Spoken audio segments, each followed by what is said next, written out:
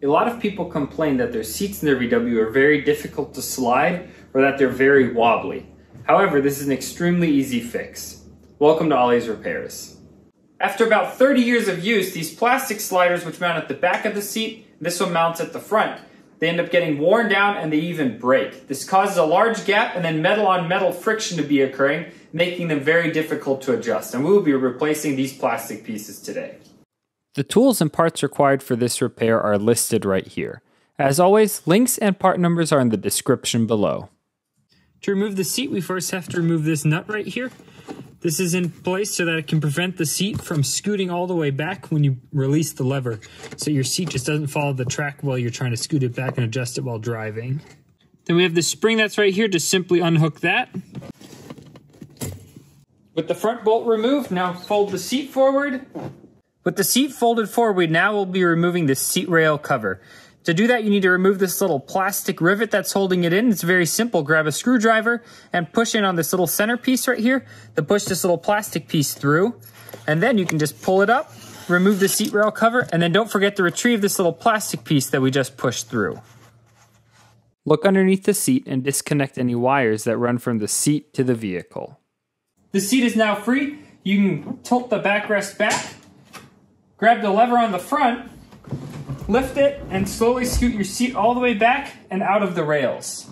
And then carefully lift it out of the vehicle. It's easiest to do this with the top down. The set that I purchased off the internet contains two sets.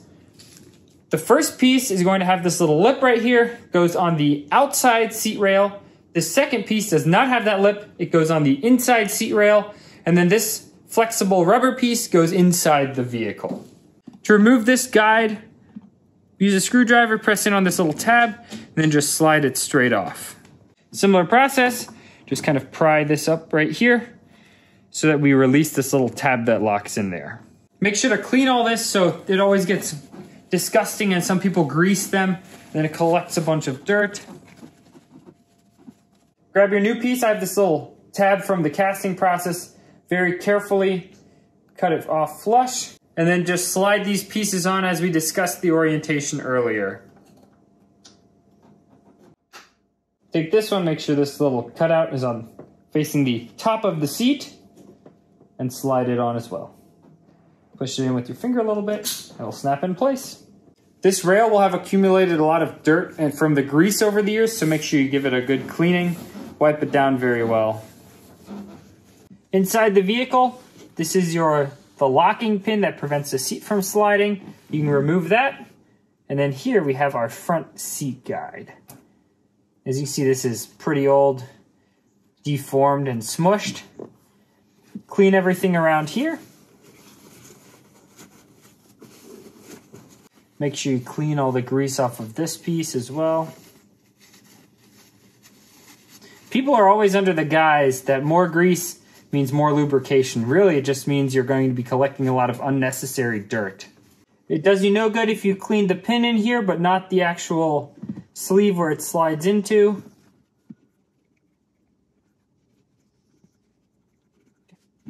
I'll be using a little bit of a silicone grease to grease the sliding surfaces on this front slider. We can also grease this little nub that slides into the hole. And then take it, so these little pieces that point downwards will point down, and where these two slits are, this is going to be on the top. Just take it and slide it in place. Again, a little bit of silicone grease, and we'll grease this shaft of this little locking rod right here.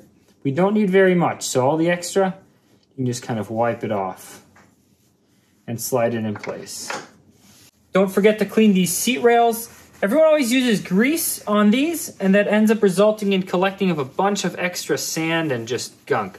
So make sure you clean these out very well.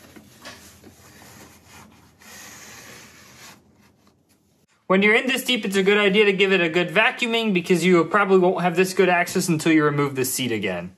Here we use a silicone-based lubricant because this area is elevated from where there's always grime and sand coming in with the feet. Whereas on these rails, you want to make sure that you use a dry lubricant. So I'm using a graphite lubricant here. You don't need very much. It is plastic sliding inside of a metal, but a little bit of graphite lubricant's always good.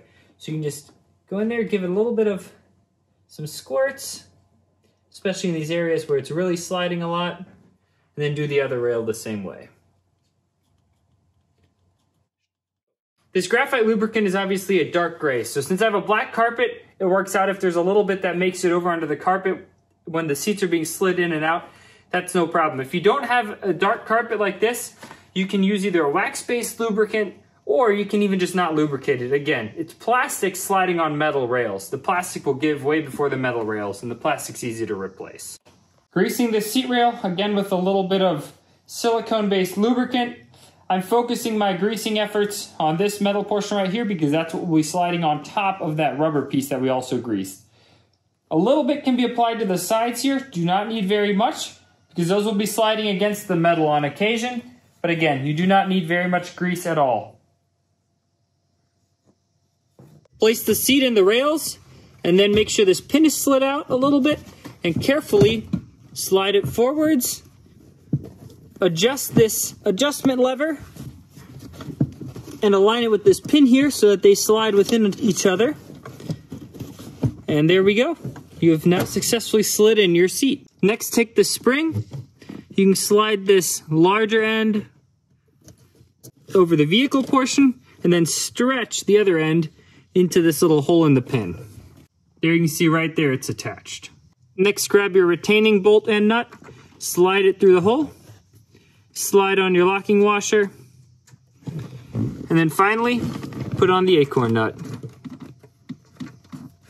There's no torque spec listed for this, but it also doesn't need to be extremely tight. It's just a retaining nut going into a little piece of metal. So just snug it down. To install the seat rail cover, this little piece right here needs to slide right inside of that hole. So just slide it in at an angle and then it'll lay perfectly flush.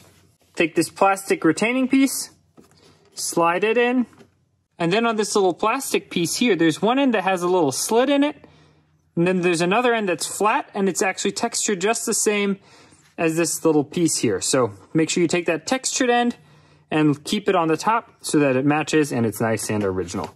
Slide it in carefully, and you might need a screwdriver to carefully tap it in, just like that. Underneath the driver's seat, make sure you connect this little wire right here. This is to indicate if your seatbelt isn't buckled. If you have heated seats, there'll be a second connector to connect as well for your heated seat elements. Hopefully this repair makes your seats more easily adjustable and also more stable inside the vehicle. Thanks for watching another episode of Oli's Repairs. Please like, subscribe, and comment for more.